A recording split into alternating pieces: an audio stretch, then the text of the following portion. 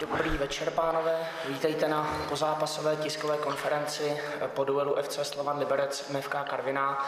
Já na úvod poprosím našeho trenéra Žolta Horňáka o zhodnocení zápasu. Ďakujem svojmu mústvu za predvedený výkon. Skutočne sme do, dodržali taktické pokyny na nejakých 90%. Vedeli sme, že Karvina nepríde sem útočiť a otvoriť hru a Všetko sme prispôsobili k tomu, hlavne od tej 20. minúte bolo vidieť, že súper sa zaťahol, akorát sme napadali svoje, svoje mužstvo, aby boli trpezliví do konca a dokonca sa hral kombinačný fotbal.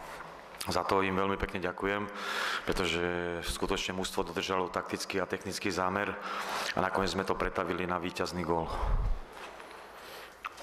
Nějaké dotazy, prosím. Já se zeptám hned na úvod, jestli vy jste se zapotil na hřišti do té 86. minuty, přitom když jste ten tým vedl, nebo pak při tom sprintu?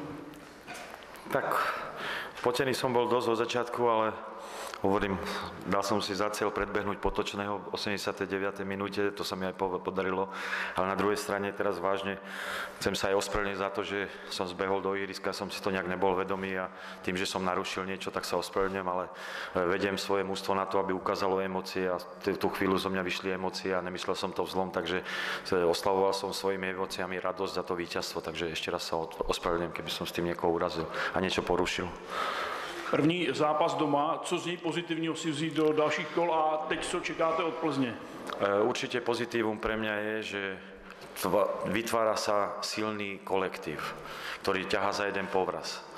A ukázali to aj dneska, že boli súdržní, trpezliví a prináša to ovoci, ako vidíte. Není to ešte to, čo by sme si predstavovali, samozrejme. Je to ešte hodne práce, e, čo sa týka taktiky, čo sa týka rýchlosti, čo sa týka filozofie, čo by sme tu chceli vytvoriť a spraviť, ale sme na dobrej ceste.